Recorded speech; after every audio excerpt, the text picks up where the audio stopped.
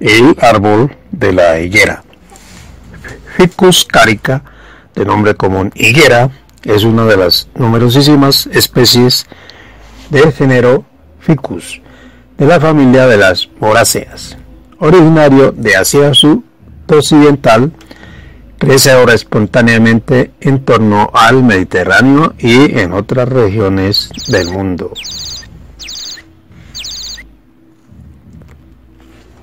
Árbol o arbusto caducifolio de porte bajo. Su altura máxima es de 7-8 metros. De copa muy abierta debido a su profusa ramificación que a menudo surge casi a ras del suelo. La corteza es lisa y de color grisáceo. Las hojas de 12 a 25 centímetros de largo y 10 a 18 centímetros de ancho son profundamente lobuladas formadas por 3 o 7 foliolos de color verde brillante y textura áspera.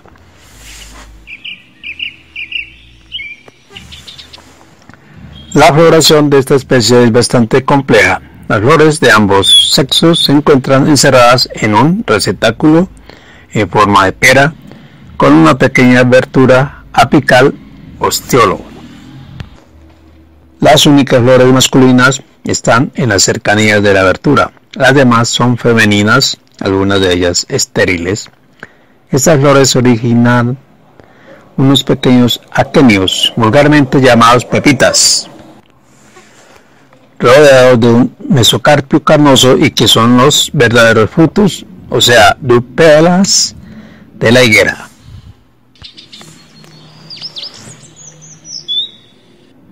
La polinización la efectúa una especie de insectos, minóteros, pequeñas avispas, en un caso típico de simbiosis mutualismo. Existe una especie de avispas adaptada a cada especie de higuera. Rastopaga senes poliniza al higo común. La hembra penetra al cicono ostiolo, deposita huevos y allí muere después de la polinizarlo. Cuando las crías nacen, los machos fecundan las hembras que aún están en el ovario y mueren dentro. Nunca salen. Las avispillas hembras fecundadas salen por el ostiolo, llevándose consigo el polen de las flores masculinas.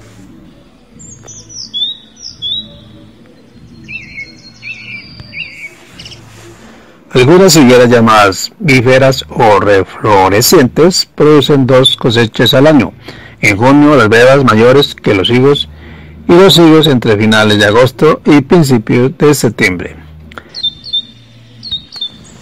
Existen tanto variedades dioicas que producen flores de un único sexo en cada individuo como no monoicas producen flores masculinas y femeninas en el mismo árbol.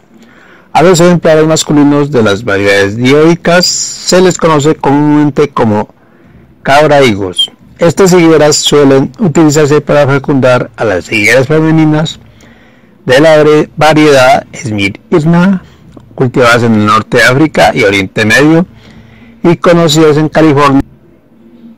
El método llamado caprificación consiste en colgar ramas de la higuera con higos masculinos no comestibles cerca de las higueras de fruto para que las avispas hembras vayan de una planta a otra y efectúen su polinización y fructificación. En cambio, la mayoría de las variedades de consumo humano no necesitan de este método, ya que son parne, partenogenéticas y siempre dan fruto en ausencia de polinizador.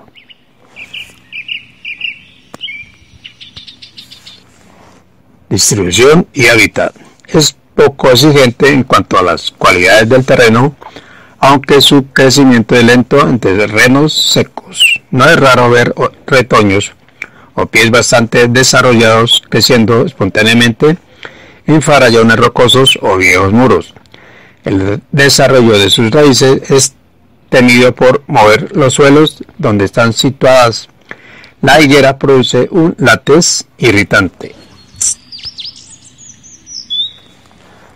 Las higueras cultivadas se reproducen mediante esquejes. Son muy resistentes a las condiciones adversas y se cultivan principalmente como árbol frutal de segunda categoría.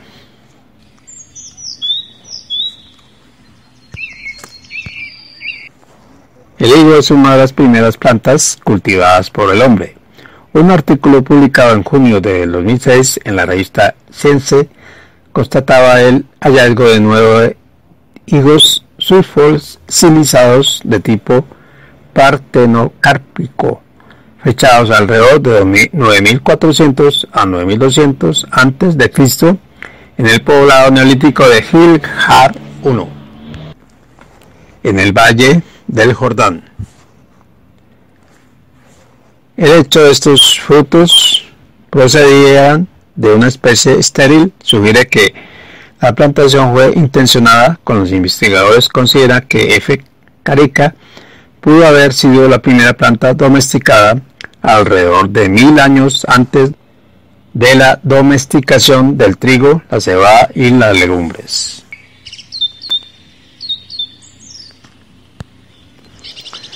La higuera ya se cultivaba en el antiguo Egipto. El egiptólogo Adolf Hermann relataba en su obra Agipten, una la vida del antiguo Egipto, cómo los egipcios domesticaban monos para recoger los frutos, ya que las ramas eran demasiado débiles para soportar su peso.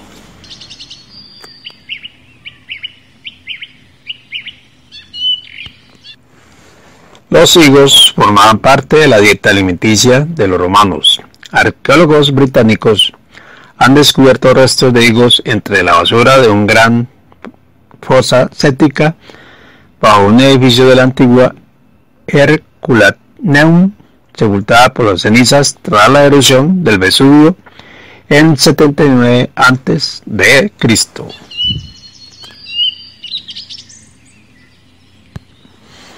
Catón el Viejo enumera diversas variedades de higueras en su obra de agricultura y cómo proceder a su propagación y trasplante, la higuera.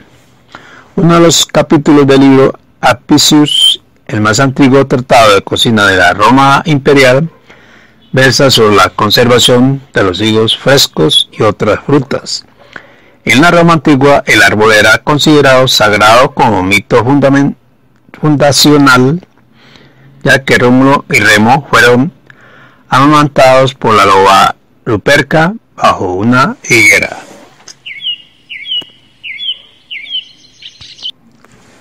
En el libro de Génesis 3, 7, Adán y Eva se cubren la desnudez con sus hojas de higuera tras ser sorprendidos en pecado. El profeta Isaías le dijo al rey Ezequías que usara la masa del higo la pusiera sobre la llaga y éste sanó.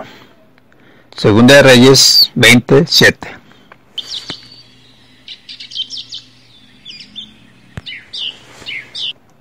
Usos. La madera de esta especie tiende a pudrirse y no es adecuada como leña. Se puede encontrar cultivado como bonsai.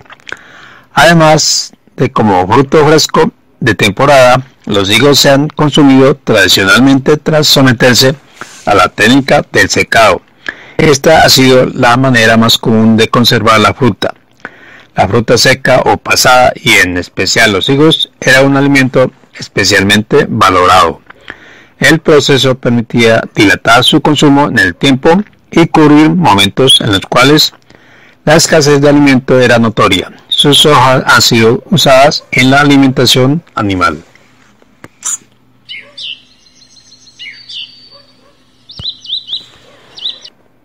En la sierra peruana de los frutos llamados higos se prepara un dulce con bastante azúcar. Su látex, leche de higo, se usó antiguamente para combatir las caries dentales y verrugas de la piel. También se empleó para cuajar la leche. Se describen también muchas virtudes en la farmacopea popular que podrían no tener más interés que el puramente folclórico. Gracias por tu visita al canal. Vuelve pronto.